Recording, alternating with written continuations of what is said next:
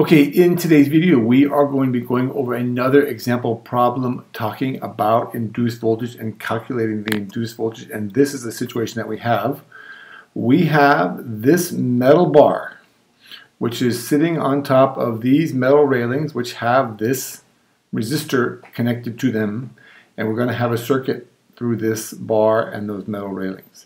There's a distance across, 15 centimeters, we have a magnetic field in here that's 5 Teslas. We have a resistor that's 5 ohms. And we are going to pull this bar across through this magnetic field, starting at 2 centimeters and moving to 12 centimeters at 1 centimeter a second. So it's going to take us 10 seconds to do that. And we want to know what is the induced voltage or when will there be an induced voltage when we move that bar across and through that magnetic field. And we want to remember, now this is an important point that you should always remember, that you should always keep in mind, that a voltage will be induced in a coil. And in a sense here, we have a coil of wire right here, single loop, and a voltage will be induced in that coil when the magnetic flux through the coil changes over time. So we're going to move the bar like that across that magnetic field, and we want to know when will the flux be changing and therefore when will there be a voltage induced. And in this video, we're going to try to answer the first four of these six questions. So this is part one. We're going to calculate the change in the magnetic flux from 0 to 10 seconds as we move from 2 centimeters to 12 centimeters at 1 centimeter a second. We're going to graph the change in the magnetic flux. We're going to calculate the induced EMF. Then we're going to graph the induced EMF and we're going to do one through four in this video and then in the next video, so we don't rush through this one, then we'll determine the magnitude and the direction of the induced current and we'll determine the force needed to move the bar to the right through that magnetic field. So this is one through four. Part two will be numbers five and six.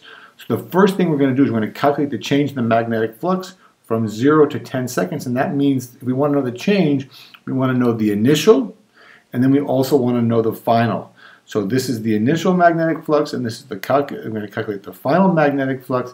It's simply the area of the coil, the initial area, times the magnetic field strength. Now the magnetic field strength doesn't change, but the area is going to change.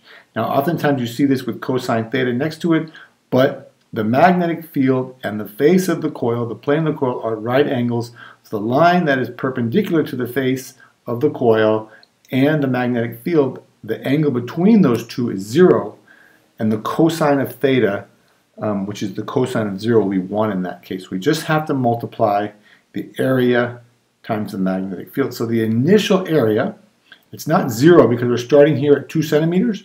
So this is two centimeters, 0.2 meters, convert everything to meters, times the length, which is 15 centimeters, 0.15 meters, times the magnetic field strength gives us an initial um, magnetic flux of 1.5 times 10 to the minus 2 Webers.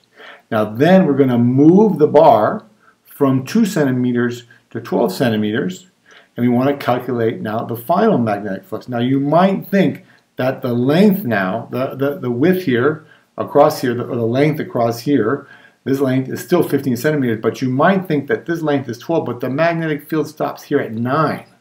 So it's going to be actually 9 centimeters. So that's 0.09 meters times the same 15, 0.15 meters times the same magnetic field strength.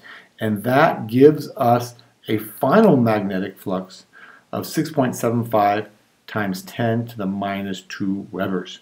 Okay, it's only this portion that has the magnetic field in it, so that's the only part that we count for the area for the magnetic field. Okay, now we want to know the difference or the change. It's just the final minus the initial. So if we subtract those two values, then we get that the change in the magnetic flux is 5.25 times 10 to the minus 2 Webers. Okay, now we want to graph that change, and we're going to do that on this graph. And you can see I set up the zero time. Okay, we're going to graph the change over time. We start here, so this is time equals zero at two centimeters. And when we move the bar across, we have an initial magnetic flux of 1.5. So I'm just going to put a dot there, approximately 1.5 times 10 to the minus 2 Webers. And then as we move across, the magnetic flux in that coil changes until we get to 9. I'm just stopping it there for a second. And then we'll move on, and then the magnetic flux doesn't change. Okay? So we have an increase from 0 seconds to 7 seconds, and then for the last one, two, three seconds, it doesn't change. So you want to be thinking maybe a little bit ahead of time. Okay, we have a change. In order to have an induced voltage, we have to have the magnetic flux has to be changing. So there's only going to be an induced voltage for the first seven seconds, and then there's going to be no induced voltage for the last three, okay? Which we'll get to in the next slide, because in the next slide, we're going to now, we're going to calculate the actual um, induced voltage from zero to 10 seconds. Okay, now this is the equation we use. This is Faraday's law, and we have a single coil of wire. This is the change in the magnetic flux, which we calculated at the previous slide, and this is the time now the change in the magnetic flux was uh, 5.2, uh, 5.25 times 10 to the minus 2 Webers. And we have a minus sign here. Don't forget the minus sign. This is Lenz's law, which we'll talk about in a next video or so. But uh, remember, you keep the minus sign here. And um, the time. Now, you want to remember the time is not 10 or 12 or something like that. The magnetic flux is only chain or 9 the magnetic flux is only changing for those first seven seconds. So that means the time is going to be seven seconds. You kind of want to be aware of that. We go from two to nine at one centimeter a second. That's seven seconds. Okay, that means the induced voltage is minus 7.5 times 10 to the minus 3 volts. Okay, now that's one way we can calculate the, calculate the induced voltage. I'm going to show you another way. Okay, I think it's interesting also and uh, we should get the exact same answer. So we're going to calculate, starting with the same equation, say we're just going to use the same equation, Faraday's law, to calculate the induced EMF, the induced voltage. But we know that the magnetic flux, we calculate the magnetic flux as the change in the area times the magnetic field strength. Now, if you don't remember what magnetic flux is, you can link to my video in the upper right-hand corner. This one explains to you what magnetic flux is. All right? And then also divided by the time still. Okay? So this is the magnetic flux. Now this is as we did in the previous, in the very first slide or so, this is how we calculate it. It's the area of the coil times the magnetic field strength. But we can expand this and we can rearrange this equation, the top, this term up in the top here, because we know the area is the length times the width. Now the magnetic field strength doesn't change, so I just put B and B. Now this L is this L right here, this length. Now that's not changing, but what is changing is the distance in the x-axis here. And that changes over time. Now I move the time over here because this is the change in the x over time or the change in the position over time. And if you remember from another topic in physics, the change in the position over time or the distance divided by the time is simply the velocity. So I can rearrange, I can rewrite this as the velocity and then would be the velocity of the bar. So here we have our same equa similar equation which we rewrote, the induced EMF is minus, don't forget the minus sign. B is the same B. This is L. Now, in the textbooks, you, you often don't see the L written as a capital L. You see it written as a lowercase l, so I just replaced this, but this L is the same as this L, the length of the bar, times the velocity, okay, which we got from the distance divided by the time, or the change in position divided by the time. So all we have to do now is calculate, uh, multiply those three terms together, minus 5 teslas, the length 0.15 meters, and then the speed or the velocity of the bar in meters per second, one centimeter, 0.01 meters per second, and you get that um, the voltage is the same answer, minus 7.5 times 10 to the minus 3. Okay, now you'll notice that in this case we didn't actually have to know the change in the flux. We just had to know magnetic field strength, the length, and the velocity. So you can, depending on what you're given, you can calculate the, the induced voltage two different ways there. Okay, now we're going to graph that. Now this is the change.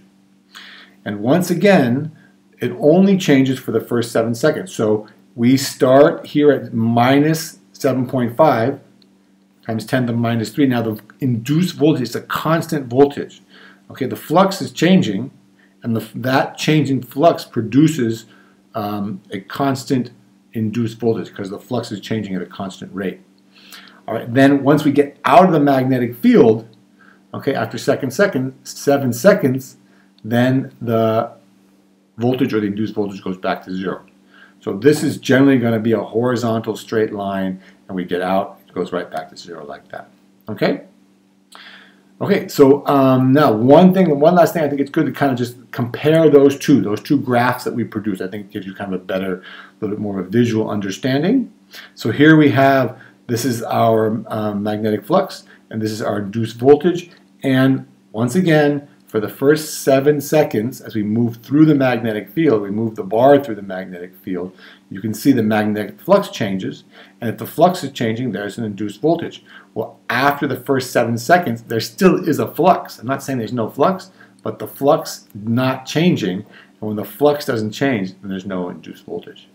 Remember, in order to have an induced voltage, you have to have a changing flux through the coil. Okay, there you go. Um, we did. We answered the first four questions. Uh, we talked about the changing magnetic flux. We graphed that. We talked about the calculating the induced voltage, and then we graphed that also. So I hope you found that video helpful. If you did, please do all the following four things. You should subscribe to my channel, get all my excellent physics, chemistry, and math videos. You should give me a thumbs up for this video. Leave me a nice positive comment in the comment section below. And don't forget, sharing is caring. Share this video with all of your friends. Show them how much you care. Thank you very much for watching. Don't forget about part two, and we will see you in the next video, which will uh, probably be part two.